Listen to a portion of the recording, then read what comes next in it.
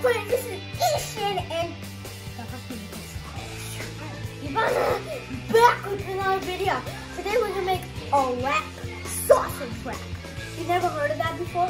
Oh, we're making it. Okay, so we're gonna make the wrap with roti. It's a whole wheat tortilla and probably the put one roti into the biggest plate you have in your house. For this, I'm using a metal plate. I mean, you can use a for this, we need spinach dip.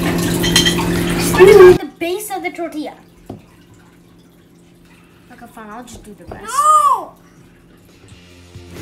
We are using cheese slice to make this work.